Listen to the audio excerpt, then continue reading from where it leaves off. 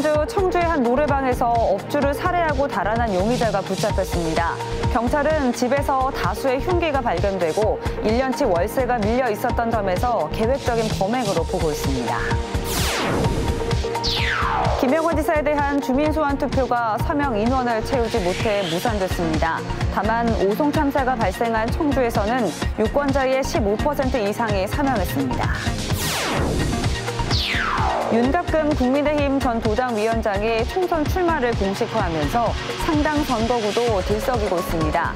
지난 재보궐선거 후보를 내지 않았던 민주당도 탈환을 벼르고 있어 선거판이 커질지 주목됩니다. 충북이 차세대 디지털 산업의 초석을 다지기 위한 시동을 걸었습니다. 클라우드와 인공지능, 빅데이터, 블록체인의 머리글자를 딴 CAB 산업 생태계를 구축하겠다는 계획입니다. 여러분 안녕하십니까. CJB 8시 뉴스 시작합니다. 김영환 지사에 대한 주민 소환을 추진해온 단체가 그 결과를 발표했습니다. 과거 사례처럼 전체 유권자의 10% 이상이라는 서명 인원 기준을 채우지 못하면서 이번에도 주민 소환은 결국 투표로 이어지지 못했는데요. 도내 4개 이상 시군에서 유권자 10% 이상의 서명을 받아야 하는 기준도 청주시를 제외하고 충족시키지 못했습니다. 이태영 기자입니다. 지난 8월 14일 시작된 김영환 지사 주민소환 운동. 진보 성향의 시민단체를 중심으로 구성된 주민소환 운동본부는 오송 참사의 부실 대응과 제천 산불 당시 술자리 파문, 그리고 친일파 발언 논란 등을 문제 삼았습니다. 주민소환 투표가 진행되기 위해서는 도내 전체 유권자 135만 4,380명의 10%인 13만 5,438명의 서명이 필요합니다. 그런데 120일 동안 13만 1,759명이 서명을 해 필요 기준에 3,600명 부족했습니다. 게다가 도내 4개 이상의 시군에서 유권자 10% 이상의 서명을 받아야 하는 조건도 채우지 못했습니다. 전체 서명 인원의 82%가 청주 지역 유권자들이었고 그 결과 11개 시군 가운데 청주만이 기준을 충족했습니다.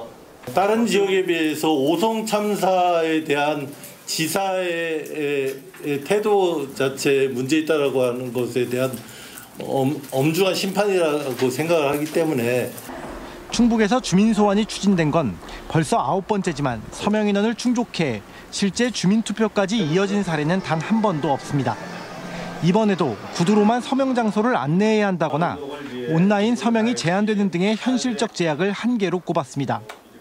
주민 소환의 이유를 페이북이나 SNS에 올리는 것조차도 어, 안 된다는 게 현재 주민소환법이 갖고 있는 한계입니다. 한편 김영환 지사는 주민소환 투표가 사실상 무산된 지난 12일 서명에 동참한 도민들의 비판을 무겁게 받아들이겠다며 자성의 입장을 내놨습니다. CJB 이태현입니다. 네, 지난주 청주의 한 노래방에서 업주를 살해하고 금품을 훔쳐 달아난 용의자가 경찰에 붙잡혔는데 오늘 결국 구속됐습니다. 50대인 이 남성은 생활고 때문에 일면식도 없는 업주를 잔혹하게 살해했는데 경찰은 계획적인 범행으로 보고 있습니다. 박원 기자입니다. 검은색 점퍼를 입고 모자를 쓴 남성이 노래방 주변을 배회합니다. 지난 15일 새벽 2시 35분쯤 노래방 업주 60대 여성이 흉기로 잔혹하게 살해되기 직전 범인의 모습이 찍힌 겁니다. 이 남성은 범행 직후 금품 40만 원과 신용카드 2개를 빼앗아 달아났습니다. 경찰은 흰머리와 점퍼, 모자 등 CCTV에 포착된 인상착의를 토대로 용의자를 뒤쫓기 시작했고 범행 장소와 1.2km 떨어진 곳에서 남성의 마지막 모습을 확인했습니다. 경찰은 이곳 골목길에 있는 모든 세대를 일일이 확인했고 자택에 숨어 있던 용의자를 현장에서 긴급 체포했습니다. 범행 42시간 만에 붙잡힌 건데 범인은 55살 남성으로 검거 당시 집 안에서 무협지를 보고 있었고 치매 노인 흉내를 내며 범행을 부인했습니다. 노인분들 마냥 뭐 왜 나한테 그래? 너 난 노인이야. 노인한테 이래도 돼? 그렇게 흉내는 냈지만 머리 스타일이 머리 모양이 피의자하고 동일했고 경찰은 방 안에서 흉기 20여 점이 발견된 데다 1년치 월세가 밀려 있었던 점에서 계획적으로 범행을 준비한 것으로 보고 있습니다. 하지만 범행 동기를 묻는 질문에는 기억이 나지 않는다며 진술을 거부하고 있습니다. 왜 죽이신 건가요? 경찰은 이 남성을 강도살인 혐의로 구속했습니다. 또 강력범죄자 신상 공개와 사이코패스 진단 검사도 검토하고 있습니다. CJB 박원입니다. 충북이 반도체와 2차 전지에 이은 차세대 디지털 산업의 초석을 다지기 위한 시동을 걸었습니다. 인공지능과 클라우드, 블록체인의 앞글자를 딴 이른바 CAB 산업의 생태계를 구축하겠다는 계획입니다. 장원석 기자입니다. 챗 GPT 등 생성형 인공지능의 등장으로 디지털 산업 생태계가 빠르게 변화하고 있습니다. 이런 추세에 동참하기 위해 충청북도와 청주대학, 한국 마이크로소프트 등 다섯 개 기관과 기업이 클라우드 인공지능 중심 CAB 산업 육성을 위한 업무 협약을 체결했습니다. 클라우드와 인공지능, 빅데이터, 블록체인의 머리 글자를 딴 CAB 산업 생태계를 공동 구축하겠다는 겁니다. 제조업에서도 엄청난 부가가치를 만들 수가 있지만 저희 충북이 지속 가능하게 발전하고 좀 더 균형되게 발전하기 위해서는 없는 기반을 만들고 그래서 거기서 산업을 좀 만들어 보겠다. 이 자리에서는 글로벌 최대 AI 기업인 한국 마이크로소프트와 국내 최고의 클라우드 기업인 구루미가 100개 지역 기업을 대상으로 인공지능의 가치와 디지털 산업 적용에 대한 사례 발표가 있었습니다. 정부가 추진하는 인터넷 기반의 클라우드 산업으로의 전환 추세에 맞춰 AI 기업과 개발자 간 기술 교류가 중요해졌기 때문입니다. AI를 적재적소에 활용하고 기술과 서비스에 또 투영시키는 그런 노력들을 하루라도 더 빨리 해야 되지 않을까? 청주대는 올해부터 과기부로부터 7억 원을 지원받아 충청권 전문 인력은 물론 신규 인력을 대상으로 클라우드 컴퓨팅 교육을 시작했습니다. 충북, 대전, 충남, 세종까지 아우르는 중부권 전체의 클라우드 컴퓨팅 센터다. 중소기업의 재직자 그리고 예비 취업자들의 전문 인력 양성 그리고 역량 강화를 통해서 충북은 반도체와 2차 전지에 이어 클라우드와 인공지능, 빅데이터, 블록체인 등 차세대 디지털 산업 선점을 위한 CAB 생태계 구축에 속도를 낼 방침입니다. CJB 장원석입니다. 라인펀드 로비 의혹과 관련한 혐의에서 벗어난 윤갑근 국민의힘 전 도당 위원장이 내년 총선 출마를 공식화했습니다. 윤 전 위원장은 지난해 보궐선거 당내 경선에서 패배를 안겨준 정우택 의원과 다시 한번 공천 경쟁을 벌이게 됐습니다. 최윤광 기자입니다. 윤곽금 국민의힘 전 충북 도당위원장이 청주 상당에서 정우택 국회 부의장과 공천장을 놓고 다시 한번 맞붙겠다고 밝혔습니다.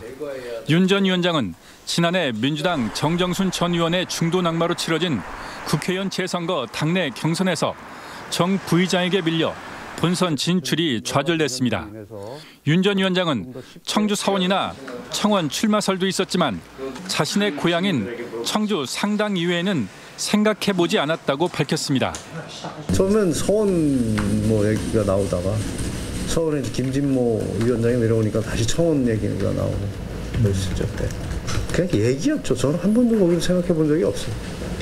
정우택 국회 부의장 역시 최근 출판 기념회에서 육선에 올라 돈의 첫 국회의장에 도전하겠다며 출마 의지를 불태우고 있습니다. 지난해 재보궐선거 발생에 책임을 지고 후보를 내지 않았던 민주당도 상당 탈환을 벼르고 있습니다. 가장 먼저 이강일 전 청주 상당 지역위원장이 예비 후보에 등록했습니다. 아, 여야가 같이 머리를 맞대고 지역의 중장기적인 개발 정책을 만들지 못하고 있습니다. 이런 가운데서 한쪽 바퀴로만은 지역 발전을 혁신적으로 이뤄낼 수 없다. 여기에 김영한 지사에 대한 주민 소환 서명 운동을 주도한 이현웅 전 한국문화정보원 원장도 출마를 고민하고 있다고 밝혔습니다. 또 최근 각종 도당 행사에 꾸준히 얼굴을 비치고 있는 노영민 전 대통령 비서실장까지 가세할 경우 청주 상당은 어느 선거구보다 판이 커집니다. CJB 조윤광입니다. 이충영 전 KBS 파리 특파원이 오늘 제천시청에서 기자회견을 열고 내년 총선 출마를 선언했습니다. 이 예비 후보는 지난 20여 년간 제천 단양은 발전에서 소외되고 변방의 도시로 추락하고 있다며 국회에 파견돼 희망 특파원이 되겠다고 밝혔습니다. 제천 출신의 이 예비 후보는 KBS 파리 특파원과 인재개발원장 등을 역임했습니다. CJB는 지난 9월 아버지의 건강이 좋지 않아 몽골인 어머니의 힘으로 어렵게 생계를 꾸려나가는 승엽인의 가족의 사연을 소개해 드렸는데요. 방송 이후 승엽이를 돕기 위한 후원의 손길이 이어지고 있습니다. 김세희 기자입니다. 14살 승엽인의 가족은 청주시 낭성면에 자리한 낡고 오래된 주택에 살고 있습니다. 집안 곳곳에는 환기가 제대로 되지 않아 곰팡이가 검게 쓸어 있고 엄마와 함께 생활하는 작은 방은 하루가 다르게 크는 승엽이에겐 비좁기만 합니다. 천원의 힘 22번째 후원아동인 승엽이의 사연이 소개된 이후 곳곳에서 온정의 손길이 이어졌습니다. 승엽인의 가족이 보다 쾌적한 환경에서 생활하길 바라는 마음을 담아 레그라칩은 천만 원을 기탁했고 권영주 대한노인회 상당서원구 지회장은 자신의 어린 시절을 떠올리며 승엽이가 건강하게 성장하길 바란다며 300만 원을 후원했습니다. 어린 그 학생이 어렵게 지나는데 좀 잘 좀좀 완성이 돼가지고 좀 열심히 공부도 잘하고 좋은 사람이 됐으면 좋겠습니다. 승엽인의 가족이 따뜻한 연말을 보낼 수 있도록 현대 바이오랜드는 직원들의 사내 모금을 더한 647만 천 원을 전달했습니다. 저희 임직원들의 작은 도움이 어, 승엽인의 가족들이 좀 더 안전하고 어, 행복한 곳에서 살 수 있으면 좋겠다는 마음으로 저희가 동참하게 되었습니다.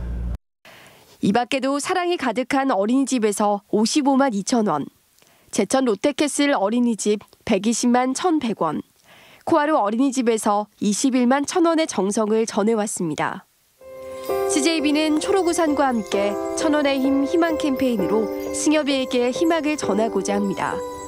초록우산 계좌로 성금을 보내주시거나 한 통화에 3,000원인 ARS 전화로 성금을 모아주시면 승엽인의 가족에게 큰 힘이 될 수 있습니다. CJB 김세입니다.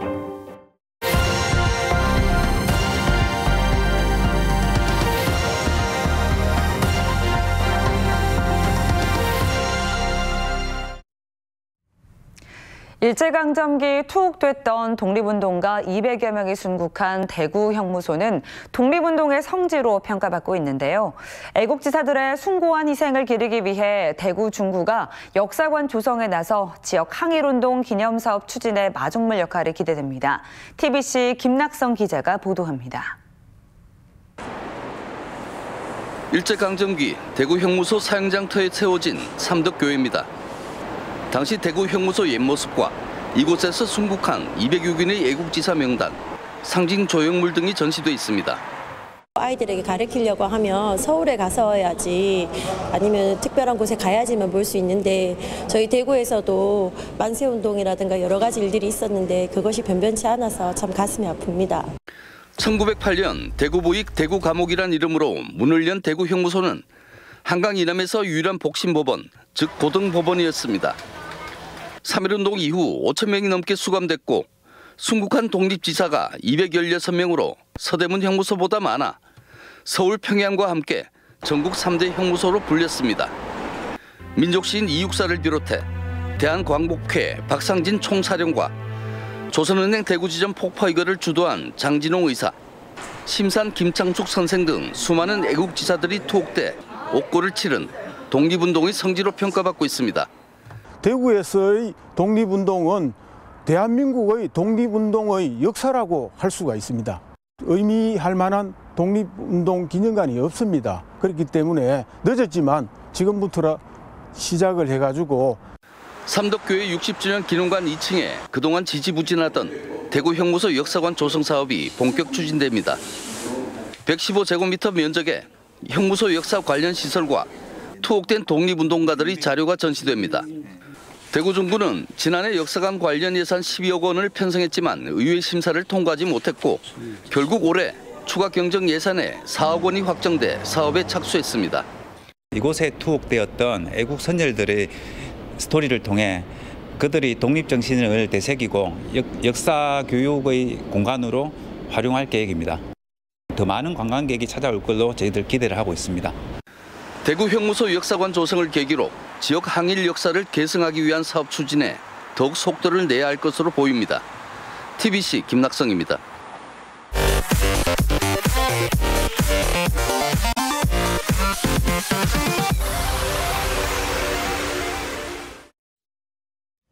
전국 공무원 노조 충북 지역 본부는 기자회견을 열고 충청북도의 시군 부단체장 낙하산 인사 중단을 촉구했습니다. 지역 본부는 지난달 인구 10만 미만의 지자체 부단체장의 직급이 4급에서 3급으로 상향된 목적은 자치 조직권 강화에 있다며 충청북도가 부단체장 낙하산 인사 관행을 멈추지 않는다면 부단체장에 대한 업무 거부 등 투쟁에 나설 것이라고 밝혔습니다. 충청북도와 베트남 호찌민시가 두 지역 간 직항 노선 개설을 추진하는 한편 경제 협력을 강화합니다. 베트남 출장에 나선 김영환 지사는 호찌민시를 찾아 이와 같은 내용의 자매 결연을 맺고 충북형 유학생 제도를 설명하며 인력 유치에 대한 협조를 부탁했습니다. 호찌민시는 빈푹성에 이은 충청북도의 베트남 내 두 번째 자매 결연 지역입니다. 다음은 저희 CJB의 희망 2024 나눔 캠페인 성금을 보내주신 분들입니다. 청주 금천동 시원성 교회에서 500만 원의 성금을 보내주셨습니다. 사단법인 충북지역개발회에서 100만 원, 충북공업고등학교에서 10만 원을 기탁했습니다. 청주 한국병원에서 450만 원, 임양순 씨 30만 원, 구인회에서 10만 원을 보내주셨습니다. 주식회사 강운정보 200만 원, 청주 현도면 시목 삼리 주민일동, 청주 현도면 노산 삼리 주민일동이 각각 10만 원의 정성을 모아주셨습니다. 성금을 보내주신 분들께 감사드립니다. 저희 CJB는 연말연시를 맞아 주변의 어려운 이웃을 돕기 위해 충북사회복지 공동모금회와 대한적십자사 충북지사와 함께 새해 1월 말까지 희망 2024 나눔 캠페인을 진행하고 있습니다. 성금을 보내주실 분들은 CJB를 직접 방문해 주시거나 농협 또는 신한은행 계좌를 이용해 주시면 됩니다. 청주시가 중부지방산림청과 공동 산림사업 업무 협약을 맺었습니다. 이번 협약에 따라 중부지방산림청은 상당 산성과 선도산이 있는 명암동과 월호동 일원의 국유림을 무상 제공하고 청주시는 휴양 공간 조성을 위한 사업 비용을 부담하게 됩니다. 충주의료원이 노사 간 합의를 통해 23년 연월차 수당 전액 1억여 원을 반납하기로 했다고 밝혔습니다. 이번 결정은 충주의료원 노동조합이 자발적으로 동참한 것으로 병원 정상화를 위해 노사가 고통을 분담하고 경영 위기를 함께 헤쳐나가자는 취지입니다. 충주의료원은 코로나 이후 올해 상반기까지 매월 10억 원의 손실이 발생했습니다. 충주시는 시내버스 노선 체계 개편을 위한 시민 공청회를 개최했습니다. 오늘 공청회에서는 중복된 시내버스 노선 통폐합, 신규 개발 지역 노선 신설과 확대, 읍면 지역 수요 응답형 버스 도입 등이 논의됐습니다. 충주시는 올해 4월부터 시내버스 노선 개편 용역을 진행해 내년 5월 본격적인 시행에 들어갈 계획입니다. 옥천군이 올해 고향사랑 기부금 목표액인 2억 2,500만 원을 달성했습니다. 지난 15일 기준 옥천군에 답지한 고향사랑 기부금은 모두 2억 6,017만 원으로 기부에는 모두 1,366명이 동참했습니다. 청주청원경찰서는 자신을 만나주지 않는다는 이유로 헤어진 연인 집에 들어가 고양이를 죽인 뒤 살인을 예고한 20대 A씨를 구속했습니다. 지난 11일 A씨는 전 여자친구 집 창문을 넘어 들어가 고양이를 세탁기에 돌려 죽인 뒤 사체를 인근 대학 청소 용구함에 유기하고 헤어진 뒤에도 30여 차례 연락을 한 혐의를 받고 있습니다. A씨는 고양이를 죽인 뒤 전 여자친구 거주지에서 살인을 저지르겠다는 예고글을 온라인 커뮤니티에 올렸다가 출동한 경찰에 검거됐습니다. 네, 오송 참사의 책임 등을 묻기 위해 진행된 김영환 지사 주민 소환 투표가 서명 인원을 채우지 못해 무산됐습니다. 다만 전체 13만 명, 그중에서 청주에서만 10만 명이 넘는 도민이 서명에 참여했다는 점은 무겁게 받아들여야 합니다. 주민 소환과 관련해 김 지사가 밝힌 대통합을 위한 화합의 행보가 도민들의 마음에 닿기를 기대해 봅니다. 이상으로 CJB 8시 뉴스를 마칩니다. 시청해주신 여러분 고맙습니다.